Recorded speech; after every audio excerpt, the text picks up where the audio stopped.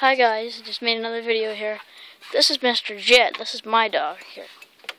He bites people occasionally, but I thought I might want to show you him. He's an English Red Jet Coonhound. He's quite pretty. He's 11 years old. One year older than me. Well, he's going to be 12. I'm going to be 11, so... Yeah. Nice old doggy. Yeah, just thought I wanted to show you guys that for a minute. Yeah, talk to you next time, next video. Bye. Bye to Jed. Make sure to comment and subscribe. Bye.